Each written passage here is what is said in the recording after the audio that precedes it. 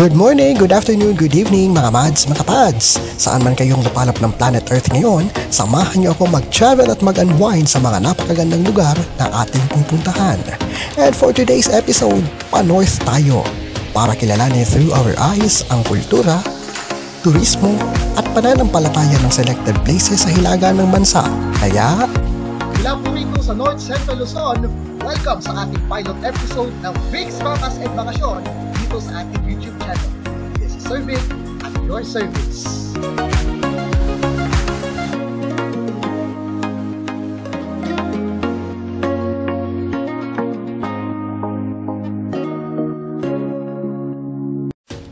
Patapos na ang school year at nakahanap pa rin ako ng pagkakataon para mag-unwind. Nakapagpaalam naman ako sa aking department head for this at pumayag naman.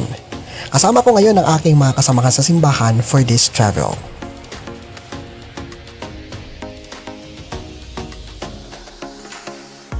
So ayan mga mads, mga pads, ah, paalis na po tayo pa sa biyahe natin and ah, medyo maingay na po dito. Are, o yan, o yan po ang bag ko. Sa, ano, yan po ang bag ko. Wait. Amen. Kami. Ayan. Mga 13 po kaming magkakasama ngayon, mga mads, mga Gray. And yung kanyang workmate kasama ko namin. Si Ate Vic, Ate Vic nasa dulo. Let us not into temptation, but deliver us from evil. Amen.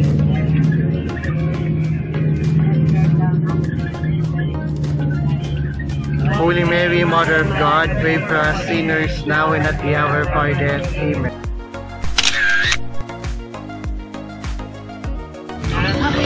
So eto na po mga mats, mga pads na kukolekta na po ng aming kayamanan ngayon. Okay? Nasa nasa unahan ko lang po ang treasurer namin. Po, nakikita po natin yung ating kayamanan ngayon. Si Ate Lenny po ang ating treasurer. Naging close ako rin kay ano, kay mother. By this very time, nagngangalit ang bulkang mayon pero schedule na itong biyahe kaya bahala ka dyan, daragang bagayon. Ako naman mga mads, mga pads, pag may magsusuga, mamaya-maya dyan parang madadamay na ako. Ganun ako palagi.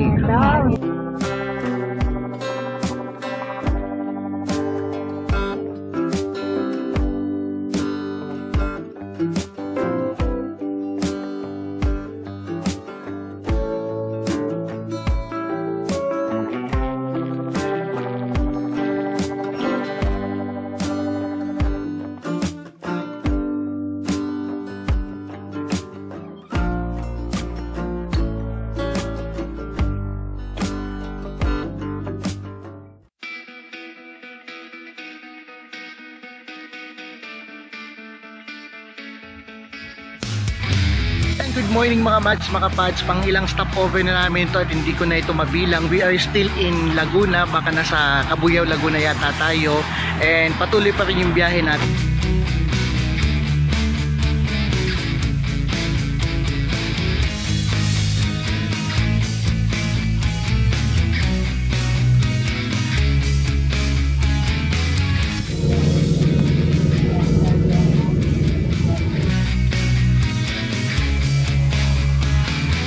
Words of eternal life. Grant we beseech thee that meditating upon these mysteries of the most holy rosary of the Blessed Virgin Mary. And yes, patuloy pa ang aming biyahe papuntang norte. Kita mo naman, sama-sama talaga kami rito. Well, solid pa north.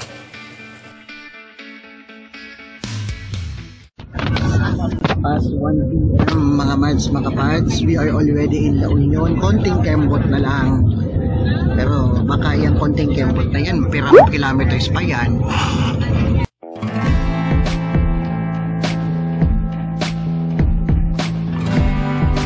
That very day, malayo si Bagong Chedeng sa may northern Luzon pero maulan at kailangan naming dumaan sa isang alternative road dahil yung mga oras na yon hindi maayos ang malapit na daanan. Kaya ang resulta, pang ilang stopover na sa Tumabenggit. Yan pa lang ang Baguio City. Natatanaw namin mga mads, mga pads. Tira na kaya, tira na. Sabi. Nakakuha po kami ng laruan dito. Oh, gada na. Oh, gada Okay. Maya. Ah! Sumisa na, sumi. Oh. Ay,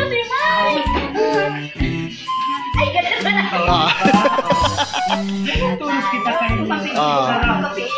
So ito nga mga mads, mga fans. Nasa nasa papunta po kami ng Baguio ngayon pero simbahan pa rin ang iniisip po namin. Yes po. Ano na so salmo? Ano na ang salmo sa aga? yes. Ay ng tono. Mother! Oy, ala, ala, nag, may, may part 2 pala ng sungka. 5.46 of the evening. Grabing traffic to mga mads mga pads dito sa papunta sa Baguio City para po kami sumusunod sa libing.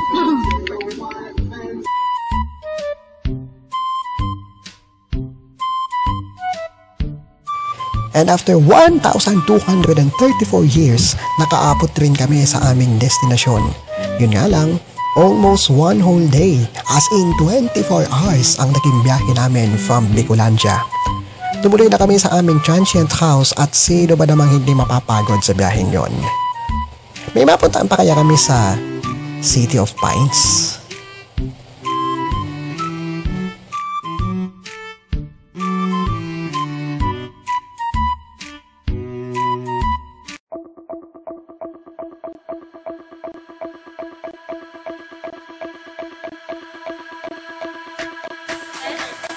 So ayan mga mads, mga pads, maggagala pa rin daw. Siyempre, hindi pwedeng wala tayo dito sa Baguio ngayon. At dahil dyan, our first stop, the summer capital of the Philippines. Wala nang iba, Baguio City. Tara, Baguio. As a fan. Tinagurian ring City of Pines ang Baguio City na isang sikat na pasyalan sa norte tuwing summer season. Classified ito bilang isang highly urbanized city. Pero kahit maunlad na ito, damang-dama mo pa rin ang pagmamahal nila sa tradisyon at kultura. At dahil gabi na, i-explore pa rin natin ang nightlife ng mga taga Baguio. I prefer the bucket list ng mga gagawin. Baka sakaling makumpleto ko kasi. Number 1. Makapamili ng mga souvenir at pasalubong mula Baguio. Number 2. Matikman ang aking inaabagang strawberry taho. At number 3. Makasayaw ang mga kapatid nating igorot sa kanilang community dance.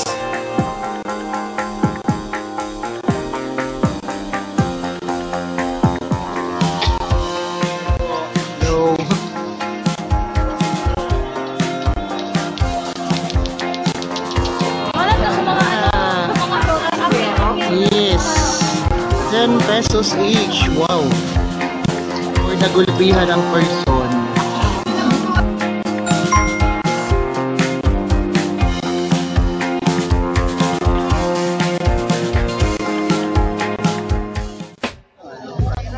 Okay, mga mads, mga pads, it's a must try dito po sa Baguio City. Ang ating inaabangang strawberry. Mag magkano po? Okay. Isa po. Yes. One down for the Baguio experience, mga mads, mga pads. Ang ating strawberry taho. Oh. Diba? Dasap na dasap yung strawberry. Unfortunately, hindi ko na nagawa yung pangatlo sa bucket list ko. Pero sige lang. Bawi na lang next life. cold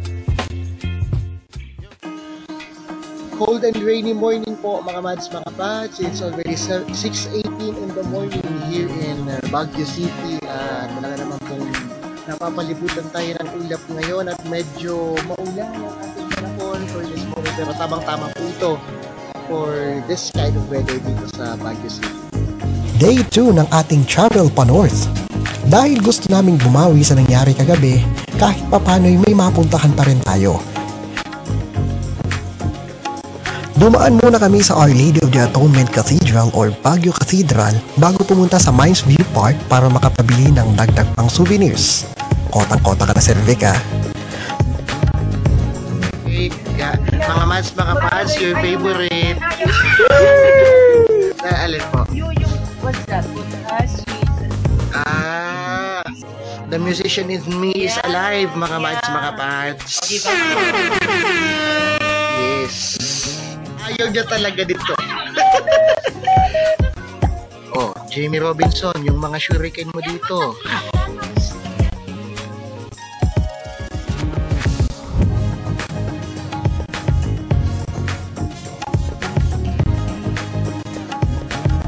Nagmukha akong si Diego Silang. Ay, bakit?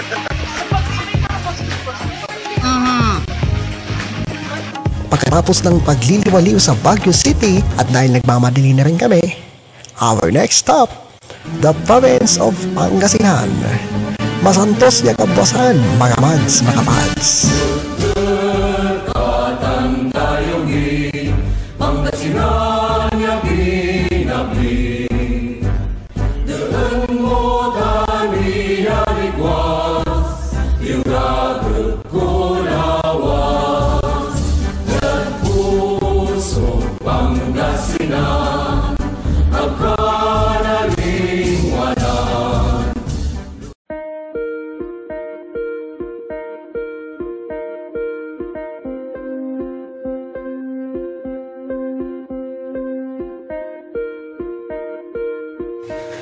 Binisita muna namin ang Our Lady of the Blessed Sacrament Parish sa tahimik na bayan ng Mapandan, Pangasinan.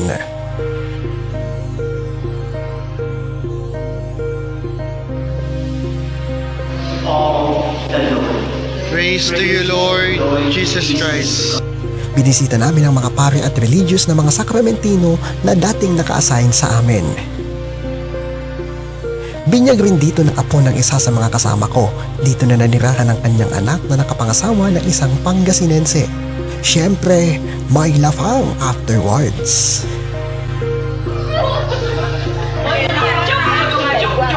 Wara po.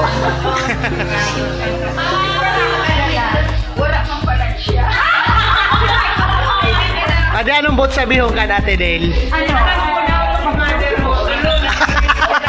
sus ko, tulit-tulo, Ate Helen.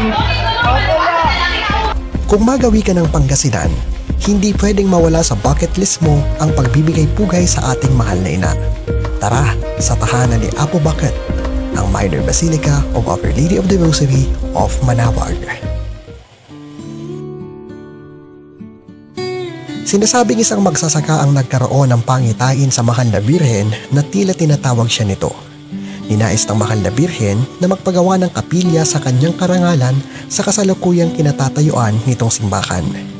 Mula noon, tinawag siyang ang Birhen na Mananawag na kilala ngayon bilang Birhen ng Manawag.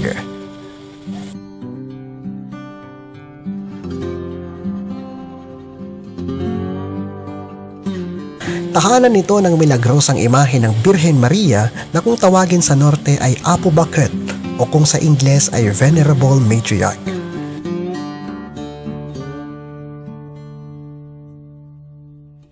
Nagawaran nito ng canonical coronation noong April 21, 1926. Ang simbahan naman ay idiniklarang minor basilica noong February 17, 2015. Pagpasok mo pa lang, ramdam mo na agad ang sacredness ng itinuturig na pilgrimage site sa North Central Luzon.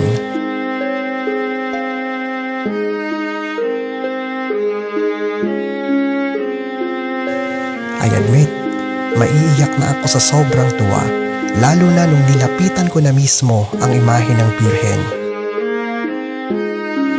I offered my personal prayers at prayers na rin para sa inyo. Sabay sabing, Balbayag ya salamat, Apo Bakit.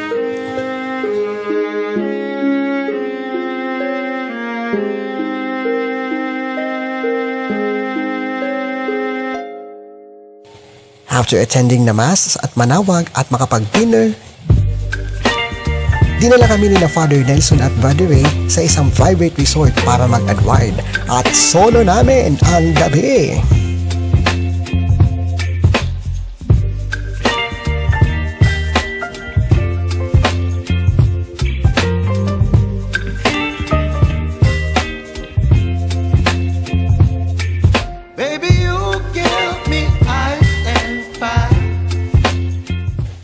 And as we finally end this Rabas and Bakasyon and Pilgrimage, mag-alay tayo ng prayers sa National Shrine of Divine Mercy sa Marilao, Bulacan.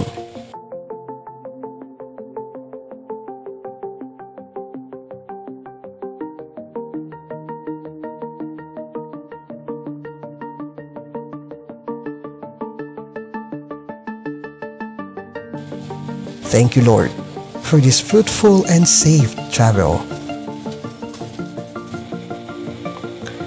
Parang panahon lang ang buhay. Minsan maaraw, minsan maulan. Minsan papagurin ka nito, pero hahanapan ka naman ng pagkakataon para makapagpahinga at ipagpatuloy ang laban. Kaya ang motto natin sa programang ito, gumala ka habang humihinga ka pa.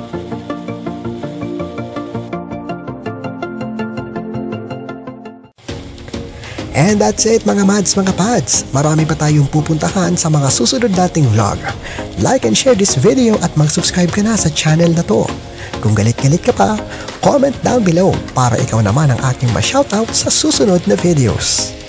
Salamat sa pagsama sa aking rabas at bakasyon. Once again, Diyos mabalos and see you on our next vlog. This is Sir Vic at your service.